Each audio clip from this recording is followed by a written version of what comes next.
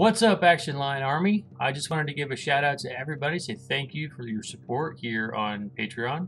Um, as a reward for the upper levels, I wanted to kind of make this walkthrough video of a sketchbook page that I've done so you can really get in there and see all the details and I can uh, share a little bit about what these sketches are about, what they represent, what I was thinking about when I made them.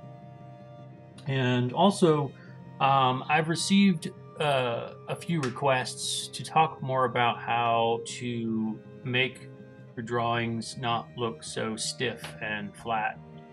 So I want to kind of mention that a little bit as I go through this as well. So um, this should be relatively short, you know, five to seven minute video, but um, let's go ahead and jump right in.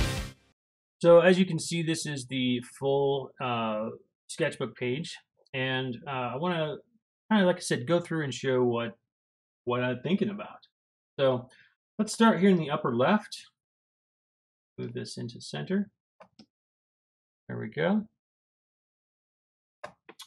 So one of the main things I'm focusing on at this stage, this is a very, very early preliminary kind of sketching. Um, I'm trying to develop ideas for my story and my comic as I'm sketching. So character details might change, things like that. but what I'm trying to do here is determine um, what kind of scenarios, what kind of poses, what kind of action that we might see during the course of this comic. Uh, this is a comic about a bunch of supermodels that get stranded on uh, an island and they have to survive, but things get even crazier when they discover that every day is a different point in time. They might wake up and there's dinosaurs one day or conquistadors the next. So I wanted to see like, you know, what that meant. What did it look like? So most of the sketches you see on here are me working out ideas of what kind of scenarios we might find these characters in.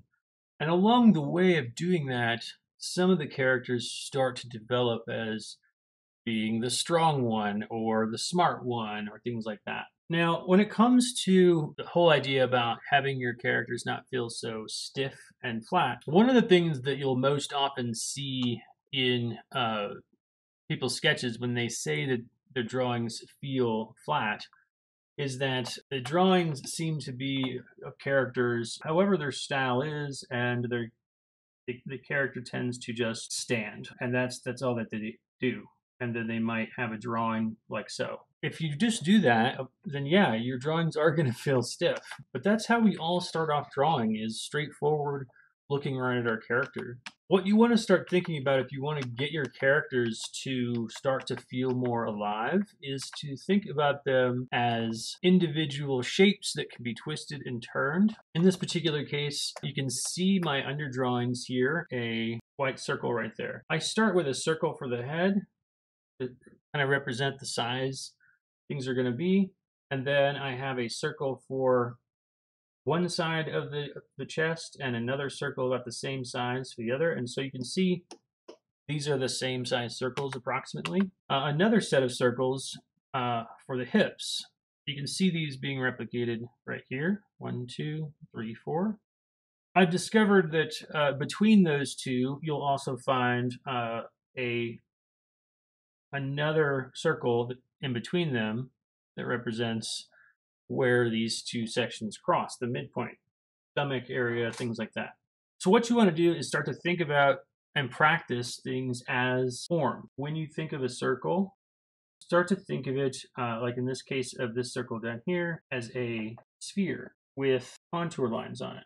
And all contour lines are are like a grid uh, that goes across it and shows you like how the form goes around it. And the more that you understand that, the easier it is to do highlights and shadows and, and all that stuff. Okay.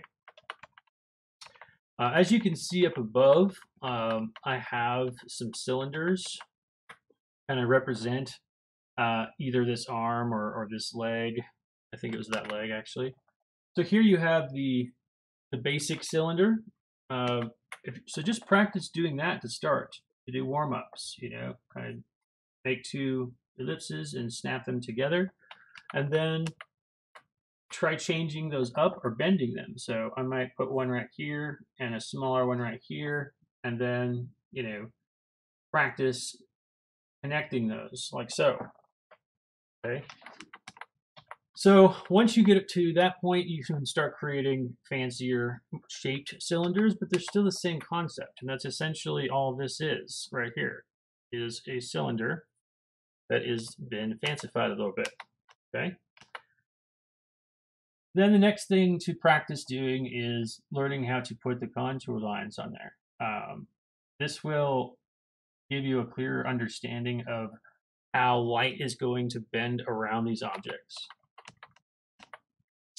And then lastly is how you apply light. Now I have some shadow on here, so let me turn the light on. There we go. So in this particular case, this is the light source shining in on those uh, pieces. And you can see exactly where the light is because the brightest area of this cylinder is facing it. And then as it gets away, it gets darker. And then I have a little bit of a, a rim light or bounce light there. Okay.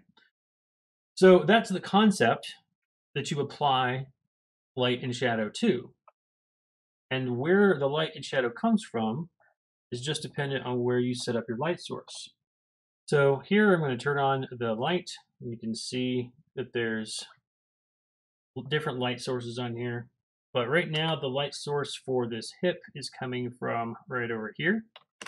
And basically when I set my light source up right here and I see the lights coming, I look at this leg as a cylinder.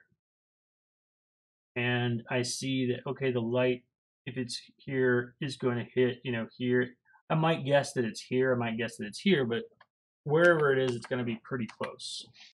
But once you have that main section done, I can then go around here and kind of just follow this light source to all these different places to put where the light is going to be. And this really starts to create depth uh, in your drawing when you could start to add light and shadow in the proper places. All right, I promised this video would be seven to eight minutes, so I want to go ahead and cut it off right here. I will be doing a tour of the rest of the sketchbook page and what I was thinking about as I was sketching them, uh, mostly just focusing on that in part two of this video series. So thanks for checking it out. Thank you again for your support, and I'll see you in the next video.